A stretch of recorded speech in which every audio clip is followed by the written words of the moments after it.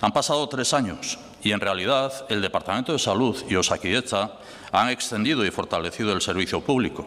Contamos con más profesionales, más infraestructuras, más recursos y nuevas dotaciones, tanto en centros de salud como en hospitales y en servicios.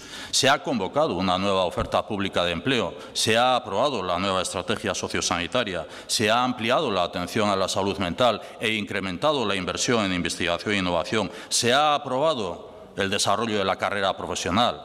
Y estas decisiones ponen de manifiesto la clara apuesta por el sistema público de salud. Voy a ser claro. La mejora de la atención primaria es una prioridad de nuestro programa de Gobierno. Vengo y venimos reclamando desde hace años la necesidad de prestigiar la medicina familiar y comunitaria. Vamos a reforzar la atención primaria avanzando en la integración asistencial. Vamos a ampliar, renovar y consolidar las plantillas. Vamos a mejorar la formación y el reconocimiento a las y los profesionales. Y vamos a seguir trabajando por una salud sin desigualdades, más cercana y al servicio de las personas. El Gobierno está comprometido con estos objetivos en una sociedad con cada vez más pacientes de edad avanzada y los vamos a cumplir.